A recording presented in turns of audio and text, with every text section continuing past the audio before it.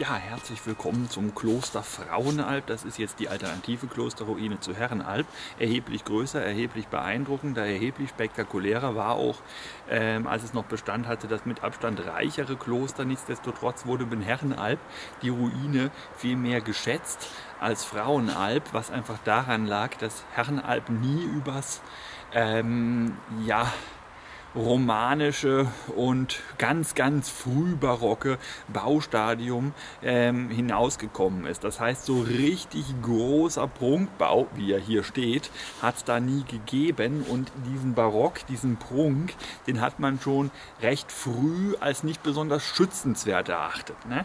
Während romanische Gemäuer schon, äh, schon äh, im, im, im, im ausgehenden 19. Jahrhundert als schützenswert erachtet worden und romantisiert entwickelt wurden, war das mit eben dem älteren Barockzeug, äh, dem jüngeren Barockzeug nicht so. Das hat man nicht großartig wichtig gefunden. Dementsprechend hat sich da auch wenig äh, in Sachen Schutz getan.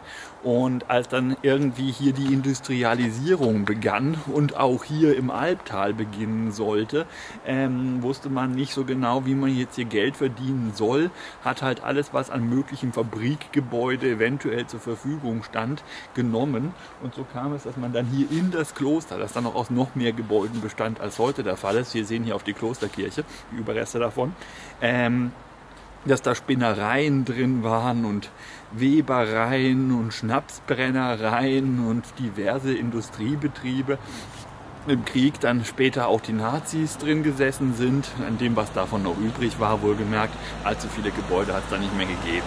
Ja, und alles in allem ähm, hat das Kloster durchaus eine bewegte Geschichte hinter sich mit mehreren Auflösungen. Aber endgültig aufgelöst wurde es dann erst 18, äh, mit der großen äh, Säkularisation. Ähm, ich glaube 1802, wenn ich das jetzt richtig in Erinnerung habe. Und seitdem ist es halt dann fröhlich am Verfallen gewesen, bis es seit, äh, seit circa 50, vor 50 Jahren ungefähr ähm, auch ein bisschen mit Geld renoviert wurde und Geld in die Hand genommen wurde und man herausgefunden hat, dass diese Ruine sehr wohl auch einen gewissen Wert darstellt. Und ähm, seitdem geht es hier definitiv auch wieder bergauf. So, und da es weiterhin regnet, eben hat es kurz aufgehört, muss ich jetzt versuchen, an meinen Regenschirm ranzukommen, den mir Frau hier hinten so schön befestigt hat, dass ich jetzt keine Ahnung habe, wie ich den abbekommen soll. Ah, okay. Ja, danke, Frau. Äh, mit Handschuhen jedenfalls gar nicht. Gut, während ich versuche, den Regenschirm aufzupacken, um die Kamera zu beschützen, gehe ich noch ein Stückchen weiter, damit dann richtig Multitasking ist. So, wir stehen hier jetzt in den Überresten der Klosterkirche und ich habe hier einen farblich sehr passenden Regenschirm. Einen Moment. Ähm, und da werde ich die Gelegenheit mal nutzen und ein paar Takte verlieren zu, ha, jetzt ist die Kamera auch regengeschützt, zu eben der Gründungsgeschichte von Frauenalb. Also Frauenalb war gedacht als, ähm, ich sag jetzt mal, Abschiebeort für Witwen, äh, adlige Jungfrauen, die nicht geheiratet haben oder irgendwelche vierten und fünften und so weiter und so fort Töchter, die man nicht mehr wirklich gebraucht hat für politische Ehen und denen man auch nicht mehr allzu viel Mitgift mitgeben konnte. Ähm, und die wurden dann in Kombination mit einem entsprechenden Geschenk von verschiedenen Adelshäusern eben in so einem Kloster abgelegt sozusagen, äh, damit sie weg waren. Äh, und gleichzeitig hat das natürlich den eigenen Seelen Seelenheil äh, einen gewissen Boost äh, verschafft, weil wenn du irgendwelche Töchter ins Kloster schickst, dann äh, wirst du irgendwie ähm, Heiliger dadurch oder so, keine Ahnung. So genau habe ich das nie kapiert, aber war wohl ungefähr irgendwie in diese Richtung gehend, ja. So, und gegründet wurde es 1185, irgend sowas um den Dreh, plus minus, also kurz vor 1200 jedenfalls, ähm, von eben den Ebersteinern. Den Grafen zu Eberstein war damals hier noch ein sehr mächtiges Adelsgeschlecht hier in der Region, äh, die sich zusammen mit den späteren Markgrafen von Baden mehr oder weniger auch die Macht aufgeteilt haben hier in der Gegend. Ähm, und die Ebersteiner wollten sich eben da ein bisschen hervortun und hatten 30 Jahre vorher auch schon das Kloster Herrenalb, also das, was wir schon gesehen hatten, gegründet.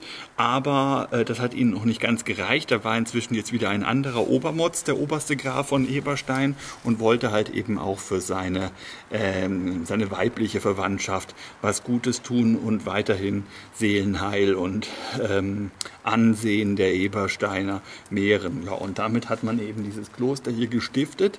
Stiftung bedeutet, äh, sowohl das Kloster selbst haben sie bezahlt, den Bau mitsamt Kirche, ETC und so weiter und so fort. Und sie haben das Kloster mit einem gewissen Startkapital an Ländereien ausgestattet. Und über diese Ländereien durfte dann die Äbtissin vom Kloster entsprechend auch herrschen.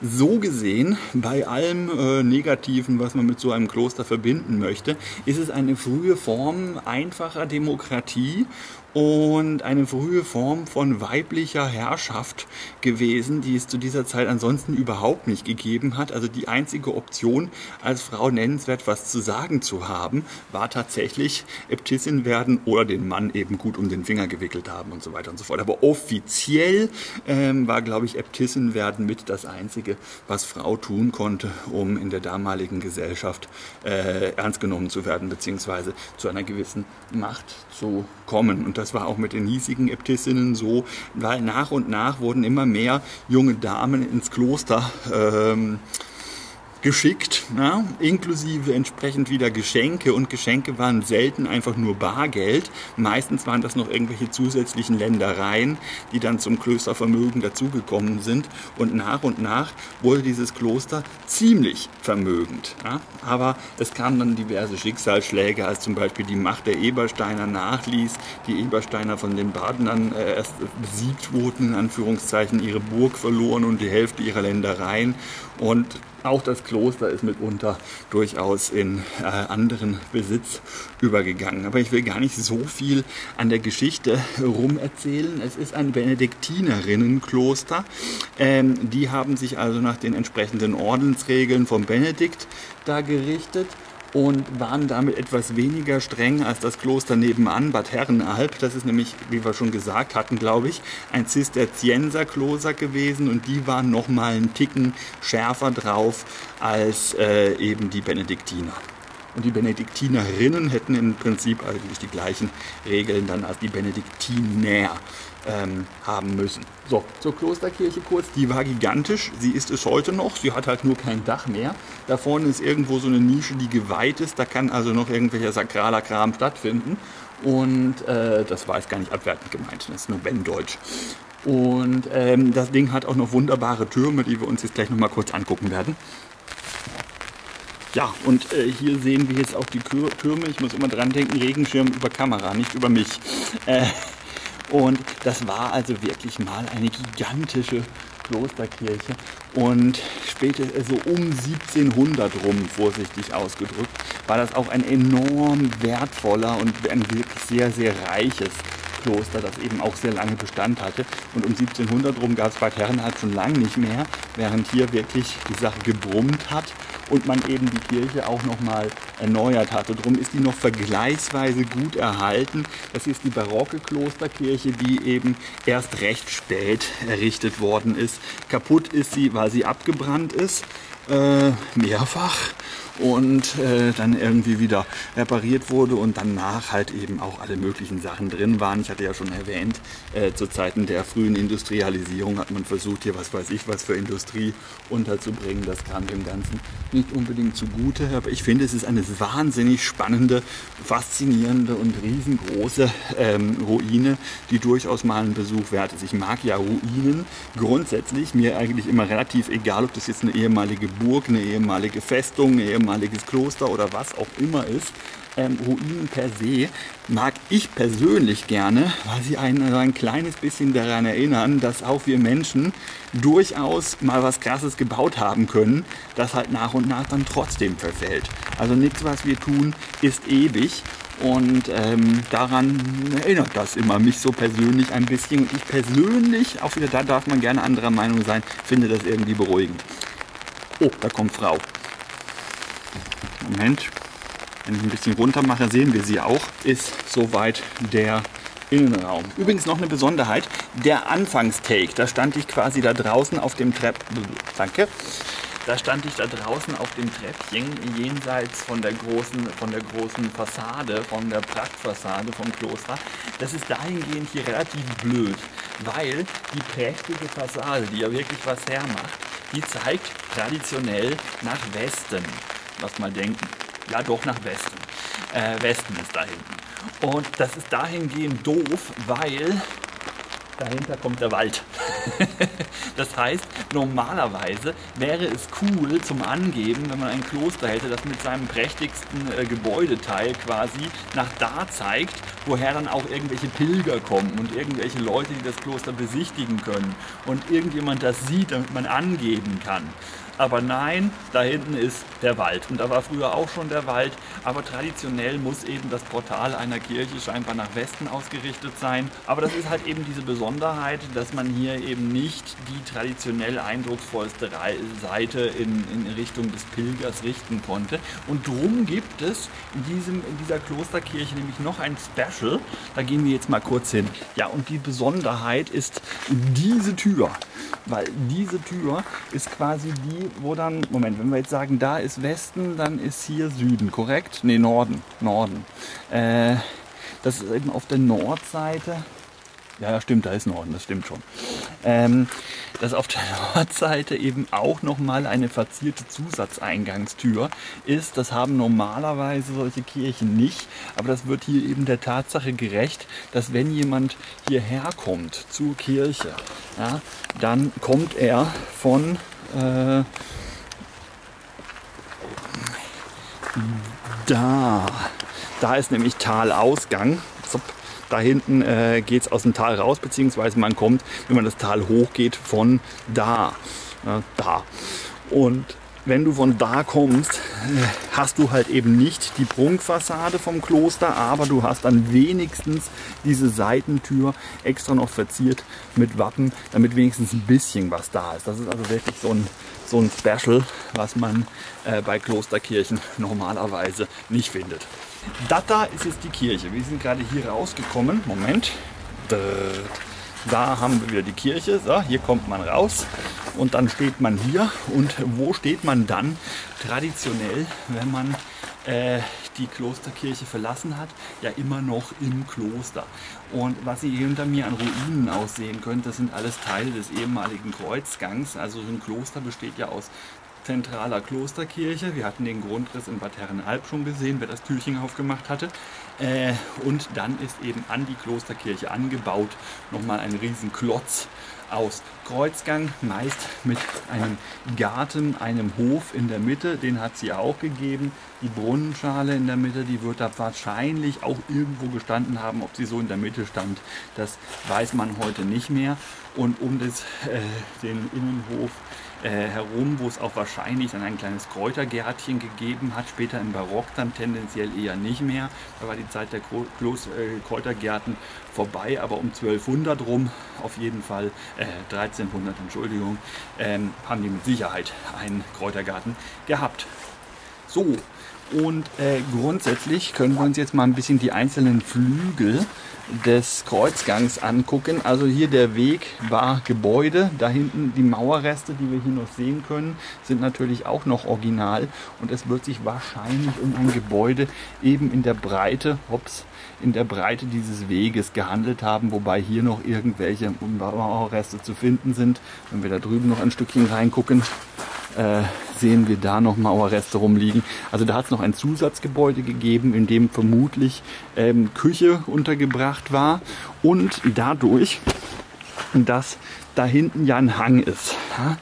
Und von diesem Hang immer ein gewisses Maß an Wasser heruntergekommen ist, hatte man eben hier in dem Flügel, in dem ich jetzt hier gerade stehe, auch alles untergebracht, das fließend Wasser benötigt. Nämlich Küche, zum Spülen, Abwasch, Wasser, wenn man halt Wasser gebraucht hat.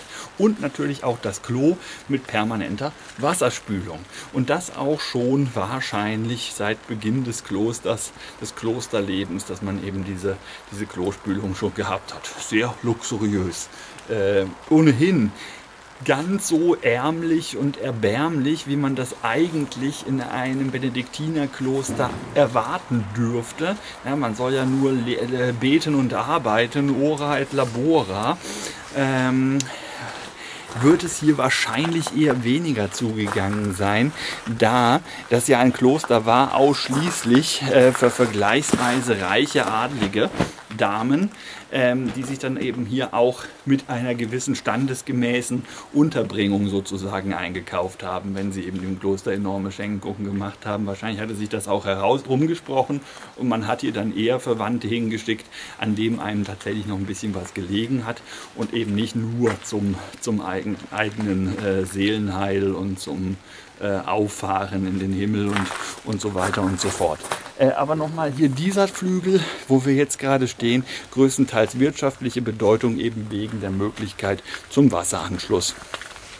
Jo, also hier jetzt mitten im Klostergarten in Anführungszeichen muss man sich das so vorstellen. Wir haben heute, gerade wenn man da drüben dann noch auf das Mäuerchen drüber steigt und da hinten die Landschaft guckt, gibt es heute auch ein gewisses Maß an Aussicht. Das ist übrigens noch das, der höchste erhaltene Gebäudeteil vom äh, ehemaligen Wohnbereich des Klosters. Wahrscheinlich haben da auch besonders wohlhabende Damen gehaust. Da gibt es nämlich erstaunlich große einzelne Zimmer für die einzelnen Bewohnerinnen des Klosters und ohnehin ist der Wohnbereich für übrigens insgesamt 30 ähm, Bewohnerinnen, also 30 Nonnen, schlicht, schlicht und ergreifend, äh, ausgelegt.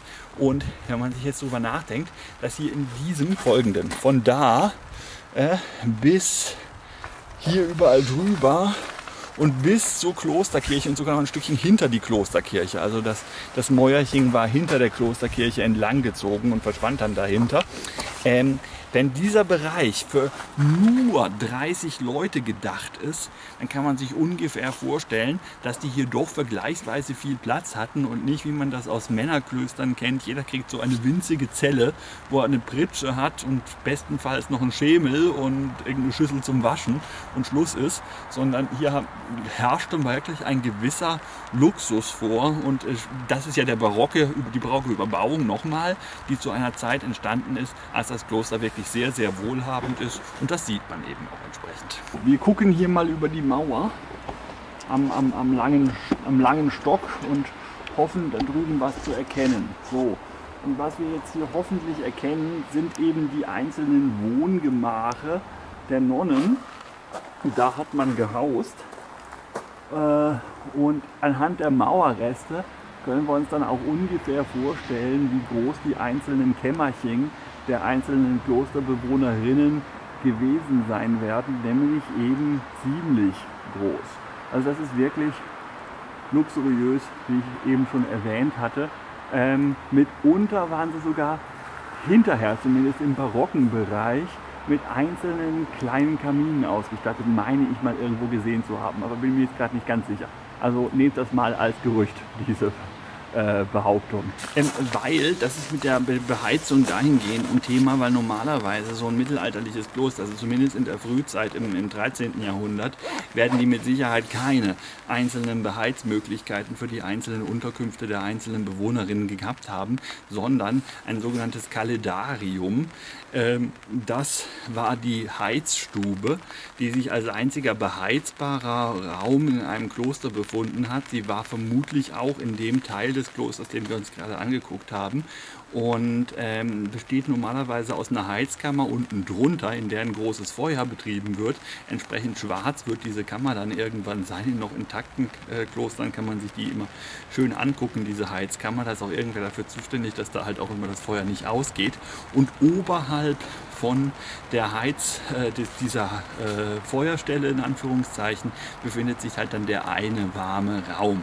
Bei Zisterzienserklöstern war das üblich, dass man sich da, wenn die Not am größten war und man gar nicht mehr warm wurde, dann durfte man da kurz mal rein, um sich ein bisschen wieder aufzuwärmen, um dann aber auch schön schnell wieder rauszugehen und weiter im Kreuzgang oder einem sonstigen sehr kalten, zugigen Gemäuer äh, dahin rumzuschleichen, äh, bis einem wieder so kalt war, dass man sich dann mal wieder ein paar Minuten Wärme hat gönnen dürfen. Es soll jedenfalls verpönt gewesen sein, laut Ordensregel, wenn man sich ständig im Wärmeraum entsprechend aufgehalten hat und sich gar nicht der Kälte draußen ausgesetzt hat. Und ursprünglich hatten das die Damen hier in ihrem Kloster auch mal so, was dann wahrscheinlich irgendwann nicht mehr so gewesen ist. So, und das nächste, was wir uns hier nochmal schnell anschauen können, ist äh, das Fundament der Klosterkirche selber. Und da sehen wir, da hat es so kleine Fensterchen. Und die hat es da deswegen, weil sich unter der Klosterkirche ein riesiges Gewölbe befindet. Und man hofft heute noch, dass man da irgendwelche geheimen Stollen und äh, versteckte Schätze und sonstiges findet einmal im Jahr, also dieses Jahr nicht, aber in normalen Jahren ähm, ist da mal Tag der offenen Klostertür und man darf dann da mal in den Keller reingucken. Das ist wirklich irre. Also wer auf unterirdische Gewölbe und Höhlen und äh, geheime riesige Keller, das ist wirklich gigantisch, was da der unten an Erdmasse bewegt haben.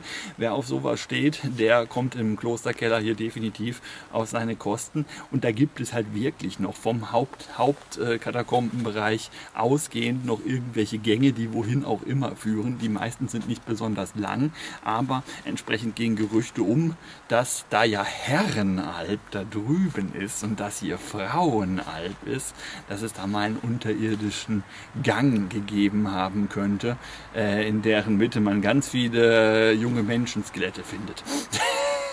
okay, das ist jetzt böse und ein bisschen makaber ähm, und passt gar nicht zu Weihnachten, aber es ist nun mal ein Gerücht, das hier äh, die Runde macht. Gut, jetzt gucken wir noch einmal ganz kurz auf die Wirtschaft rund ums Kloster und damit auch noch ein gewisser Waldbezug hergestellt werden kann. So, eine Aussicht, die man vom Kloster selber wahrscheinlich selten gehabt hat als Insassin, äh, Bewohnerin. und ähm, eigentlich ja doch ein gar nicht so unidyllischer Anblick, ist leider gerade etwas mit Autolärm. Äh, oh nein, ist das gelbe Bandy-Lärm äh, getrübt. Und naja, Gut, aber nichtsdestotrotz wichtig für solche Klöster und insbesondere zur Besiedelung solcher Täler wie das Alt Albtal, äh, da waren Klöster wichtig und sie standen logischerweise auch immer im Grund des Tals, weil es der einzige Ort in so einem Tal ist, wo man mal halbwegs ebenen Boden hat, wo man dann auch halbwegs vernünftig ein bisschen Landwirtschaft betreiben kann, wenn auch nicht super toll. Ziegen hat es immer gegeben, sind die Ziegen im Bild. Ich glaube, da läuft gerade so ein weißer Punkt. Der weiße Punkt ist eine Ziege. Naja, äh, die hat es auf jeden Fall auch immer gegeben. Schafe hat man natürlich gehabt zur Wollproduktion. Und äh, insbesondere die Zisterzienser dann oben bei Herrenalb haben traditionell auch immer, deswegen brauchten sie auch immer einen Bach, nämlich die Alb ähm, oder einen Fluss eigentlich schon eher. Die Alb kann man denke ich schon als Fluss bezeichnen. Ähm, da haben sie immer Fischteiche angelegt. Ob das jetzt hier bei Frauenalb die Nonnen selber auch gemacht haben, ist eher unwahrscheinlich. Grundsätzlich war es auch nicht so erwünscht, dass die Nonnen nennenswert irgendwas außerhalb von ihrem Kloster machen, habe ich mir sagen lassen. Deswegen, die hatten ja ihre reichen, reichen Gutgüter und ihr entsprechendes, ihren entsprechenden Besitz vom Kloster selber und deshalb Geld war immer da und was man an Nahrungsmitteln gebraucht hat, das hat man sich auf jeden Fall kaufen können. Aber nichtsdestotrotz in unmittelbarer Umgebung des Klosters war also ein Wirtschaften durchaus auch möglich und es wird auch mit Sicherheit stattgefunden haben. Äh, ja, so. Ähm, dann noch ein Blick zurück auf, äh, das ist übrigens jetzt hier dieses große Gebäude innerhalb des Kreuzgangs. Ähm, das war auch vergleichsweise hoch und nochmal, das für 30 Nonnen ist das bemerkenswert groß. Und hier können wir jetzt noch einmal die Klosterkirche in äh, vollem Umfang begutachten, wenn da nicht noch der Baum im Weg stehen würde. Übrigens die Türme, machen wir noch ein kleines bisschen einen Schritt, die sind so nicht mehr original. Die hatten ursprünglich obendrauf äh, mal noch so Zwiebeltürmchen ähm, waren also noch ein Stückchen höher. Man hat dann aber beim Renovieren, damit der Turm nicht vollkommen zusammenbricht und es nicht auch oben ins, ins Gemäuer reinregnet, halt dann nochmal so ein Dach draufgesetzt und hatte dann nicht das Geld, ähm, super tolle Spezialtürmchen hinzustellen, sondern eben das nur so weit zu rekonstruieren, wie wir das hier jetzt sehen. Also die oberen Bereiche, da oberhalb vom Geländer der Türme, das ist alles rekonstruiert. Da war ursprünglich nicht mehr viel von übrig. Ja, aber alles, an, was wir sonst gesehen haben, alles original, alles noch Bausubstanz des Originalklosters. Gut, das äh, meiner Meinung nach ein wirklich, wirklich spannender Ort. Die Geschichte des Klosters und ein bisschen Wissenswertes zum Kloster ist ja auch überall noch sehr schön ausgeschildert.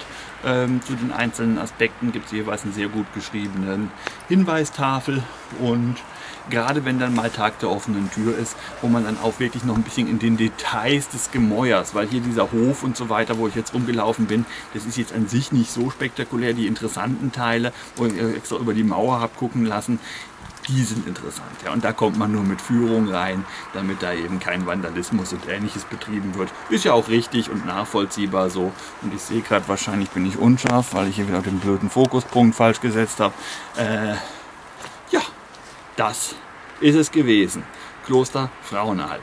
Kloster Frauenalb, also als Sehenswürdigkeit definitiv Herrenalb um weiten, äh, weites, weit, weit überlegen. Ähm, außerdem Frauenalb hat ein braunes Schild auf der Autobahn, das auf eine Sehenswürdigkeit verweist. Herrenalb hat das nicht. Ja? Also, bis morgen.